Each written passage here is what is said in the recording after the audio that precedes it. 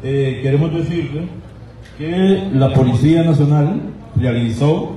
después de meses de investigación,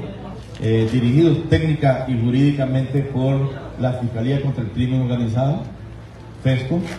eh, realizó ayer una operación contra una estructura criminal dedicada al narcotráfico agravado que está encabezada por el señor alcalde del municipio del Triunfo Choluteca, el alcalde Cristian José Castillo Mercado, por lo cual la Secretaría de Estado, el Despacho de Seguridad y la Policía Nacional de Honduras ofrecen una recompensa de 350 mil empiras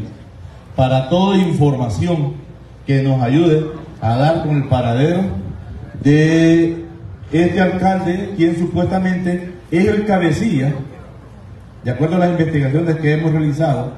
y que ha realizado la Fiscalía contra el Crimen Organizado, de una banda criminal dedicada al narcotráfico